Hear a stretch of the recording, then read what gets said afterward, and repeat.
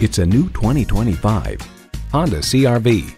Check out this CRV's fuel efficiency numbers, safety measures, and cargo capacity, and you'll be glad to drive it for the long haul. It comes with all the amenities you need.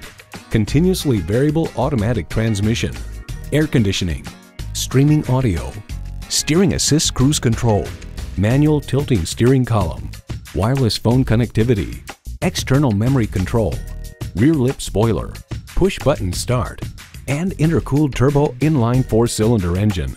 It's a Honda, so longevity comes standard. You'll never know until you try. Test drive it today.